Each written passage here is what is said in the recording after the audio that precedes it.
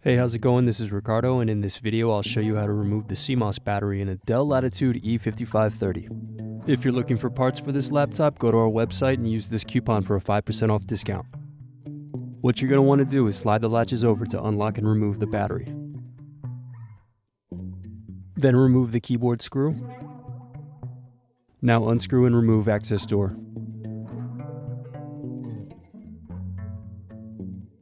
Next, unscrew and slide the DVD optical drive out of the laptop.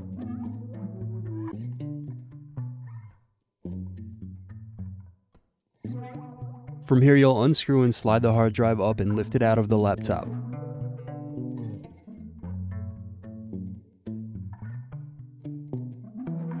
From here, you'll unplug antenna cables and unscrew wireless card.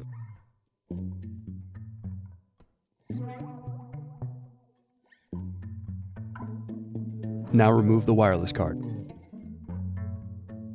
Then unscrew and remove CPU access door.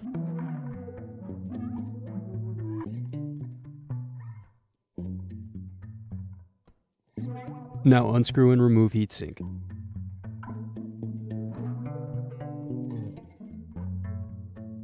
Next unplug the DC jack and fan cables.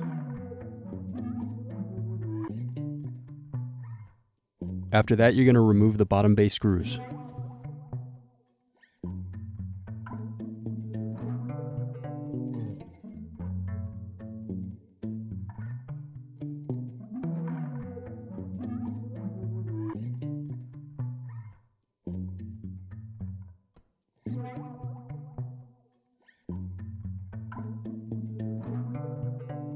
Then turn the laptop over, unsnap and remove bezel, then unscrew keyboard.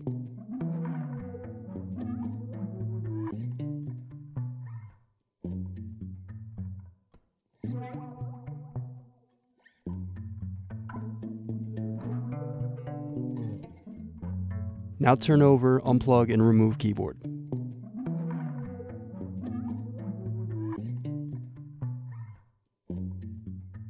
Next, unplug and unscrew palm rest touchpad.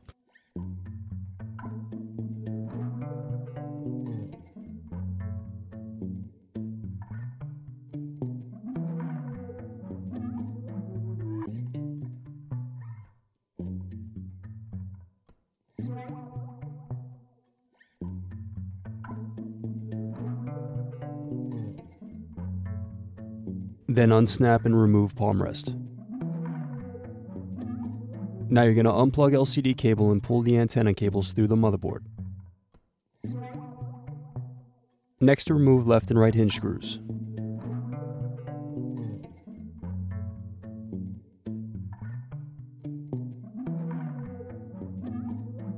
Then remove the display assembly.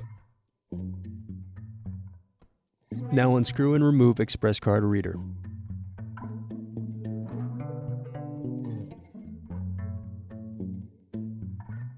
Now unplug the speaker and USB audio circuit board cables. Alright, next you're going to unscrew and remove the left support bracket.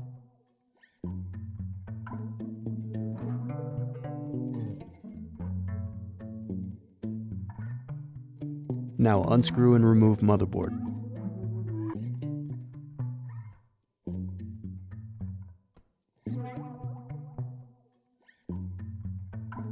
Then unplug and remove CMOS battery. Need more? Check out these other tutorials. For LCD screens, click here. For motherboards, click here. For heatsinks, click here. Thanks for watching. If you enjoyed this tutorial, give this video a like and subscribe to our YouTube channel. Check the video description below for links to written tutorials and replacement parts.